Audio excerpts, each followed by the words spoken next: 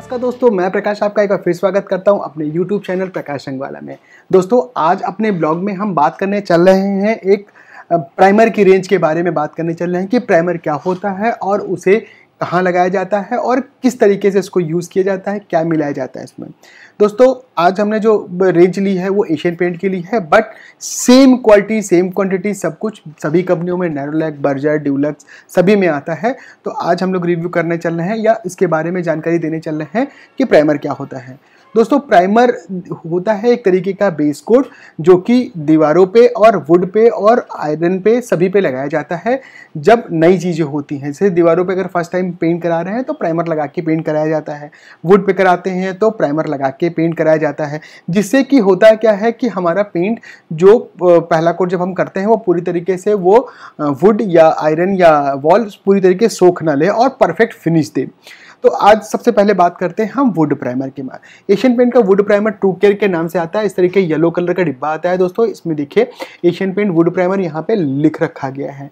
एक लीटर आधा लीटर चार लीटर दस लीटर बीस लीटर के पैक में इजिली अवेलेबल है। ये वुड प्राइमर एक लीटर में लगभग sixty five square feet average देता है मतलब कवरिंग देता है पर लीटर डबल कोट में। दूसरा इसमें तारपीन का तेल मिलाया जाता है। इसको पतला करने के लिए एमटीओ या तारपीन का तेल मिलाया जाता है, जिसमें कि हम लोग इसको मान के चलते हैं कि लगभग दस परसेंट हम तारपीन तेल मिला सकते हैं, दस से बारह परसेंट तक इसको मिला सकते हैं।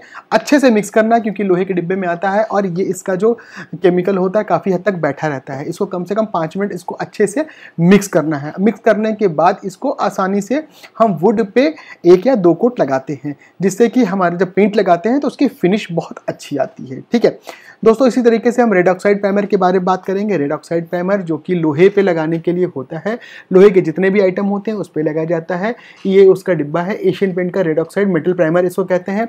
इसको डायलूट करने के लिए इसमें भी तारपिन तेल या एमटीओ का इस्तेमाल किया जाता है। साथ में बहुत से लोग इसमें कुछ थिनर भी मिलाते हैं बट थिनर का नंबर जानना बहुत आवश्यक है कि कौन सा थिनर इसमें मिलाते हैं जो कि जल्दी सूख जाए। बट जनरली इसको देखा गया है कि इसमें रेड ऑक्साइड प्राइमर में हम लोग तारपिन का तेल मिला के इसको लगाते हैं। इसमें लगभग लगभग हम 10 से 15 परसेंट या 20 परसेंट तक हम तारपिन तेल मिलाते हैं, क्योंकि जब हवा लगता है, सूखता है तो थोड़ा थोड़ा इसमें हम तारपिन तेल मिलाते रहते हैं। एक लीटर, चार लीटर, दस में नहीं आता। बीस लीटर के पैक में एशियन पेंट का रेड ऑक्साइड प्राइमर आसानी से मार्केट में मिलता है। लगाने का तरीका बहुत आसान है। इसमें थोड़ा सा तारपीन तेल मिक्स करना है और इसको मिक्स करना है। मिक्स करना बहुत आसान है क्योंकि टीन के डिब्बे में भी आता है और इसका भारी होने की वजह से इसका सारा केमिकल बैठ जाता है। जिसको मिक्स अगर हम नहीं करेंगे तो अपना रेड ऑक्साइड, जिस पे दरवाजे पे या लोहे ग्रिल पे हम लोग कर रहे हैं, वहाँ सही तरीके से ये नहीं लगेगा। उसके बाद दोस्तों, ये लगाना इसको आसान है, सूखने का समय जो है इसका वही करीब चार से छः घंटे के अंदर आसानी से सूख जाता है दोनों। उसके बाद दोस्तों, बात करते हैं हम लोग वॉल प्राइमर की। वॉल प्राइमर की तीन रेंज आती है इंटीरियर में दो एक्सटीरियर में एक। तो सबसे पहले हम लोग बात करते हैं interior wall primer interior wall primer में दो वेरिएंट आते हैं। पहला आता है ऑयल बेस ये उसका ऑयल बेस का डिब्बा है, जो कि टीन के डिब्बे में आता है और इस तरीके से आता है एशियन पेंट का एशियन पेंट का इंटीरियर वॉल प्राइमर अंदर लगाने का वॉल प्राइमर दोस्तों, जहाँ बहुत से वॉलों में लामी पुट्टी लगती थी, लामी मुट्टी मतलब वो सान के या एक्रेलिक पुट्टी लगाई जाती या हम सीमेंट पुट्टी को भी लगा सकते हैं। उसके बाद, पहले और बाद में बहुत से पेंटर ऑयल प्राइमर का इस्तेमाल करते हैं। माना यह जाता है कि ऑयल प्राइमर लगाने पर बहुत ही मज़बूत फिनिश आती है। लगने पर उसकी जो फिनिश आती है, बहुत ही मज़बूत रहती है, जिसके वजह से लोग लगाते हैं और नीचे की जो गंदगी है, बहुत अच्छे से छिप जाती है मतलब हाइडिंग हो जाती है उसकी बहुत बहुत अच्छे से। पुराने लोग, जो पुराने पेंटर कॉन्ट्रेक्टर होते हैं, वो लोग आज भी ऑयल प्राइमर का इस्तेमाल करते हैं। बहुत से शहरों में अभी भी ऑयल प्राइमर का ही इस्तेमाल किया जाता है। इसके ऊपर एक चीज़ ये भी है कि ऑयल प्राइमर हम लगाते हैं तो ऐसा नहीं कि इसके ऊपर हम वाटर बेस्ड पेंट नहीं लगा सकते, लेकिन इसके ऊपर आसानी से वाटर बेस्ड पेंट चढ़ जाता है। लगाने का तरीका वही है कि इसमें एक लीटर में लगभग हम 300 से 400 सौ एम तारपीन तेल मिक्स करते हैं। अच्छे से मिक्स करेंगे, करीब पाँच मिनट तक फेंटने के बाद इसको ब्रश रोलर से हम आसानी से या स्प्रे से आसानी से वॉल पे लगाया जा सकता है इसके बाद।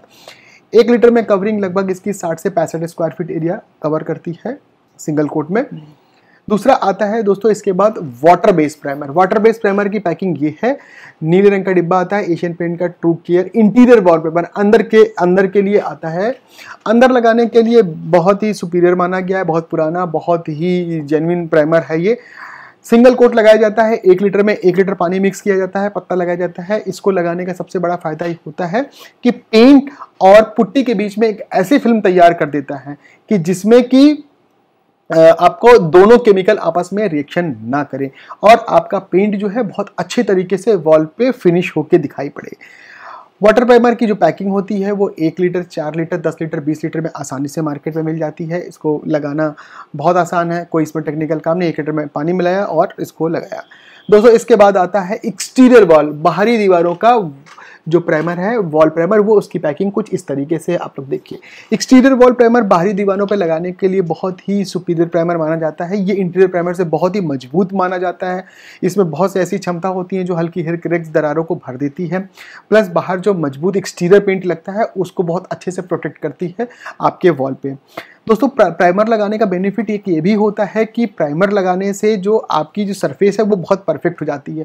उसकी फिनिशिंग बहुत अच्छी आती है। जब आप पेंट लगाते हैं पेंट की कवरिंग बढ़ जाती है। बहुत से ऐसे कॉन्ट्रैक्टर या बहुत से ऐसे कस्टमर हैं जो कि प्राइमर को बिल्कुल ही तहरीज नहीं देते या बहुत ही उसको सही नहीं समझते कि ठीक है बिना प्राइमर के ही पेंट लगा देते बट मेरा रिकमेंड है कि आप लोग प्राइमर को लगाइए। प्राइमर को लगाने से आपको बेनिफिट यही मिलेगा कि, कि फिनिश जो होगी वो बढ़ जाएगी। प्लस आपका जो पेंट है उसकी कवरिंग बढ़ जाएगी। तो दोस्तों प्राइमर की बात करें इंटीरियर में जो है वो आपका वॉल प्राइमर की बात करें इंटीरियर में दो आ रहा है एक्सटीरियर में एक प्राइमर आ रहा है। इसके अलावा डैम शीट प्राइमर और जो बहुत से जो नए तरीके के वाटर प्रूफ प्राइमर वो सब चले आ रहे हैं, वो सब इंटीरियर के ही मतलब रेंज है। फिर इसके अंदर फिर बड़ी रेंज आ जाती है, वो तो अलग मैटर है। लेकिन जो ट्रेडिशनल चला आ रहा है एशियन पेंट का, सारा जो प्राइमर जो बेसिक प्राइमर जिसे कहेंगे wood primer red oxide primer interior wall primer solvent base इसको सॉल्वेंट बेस ही प्राइमर करते हैं, कहते हैं। Interior wall water base exterior wall water base आता है। बाहर के लिए वाटर बेस पेंट लगता है और वाटर बेस ही प्राइमर लगता है। बाहर ऑयल बेस प्राइमर नहीं लगता। पैकिंग हमने बता दी कि किस तरीके से होती है।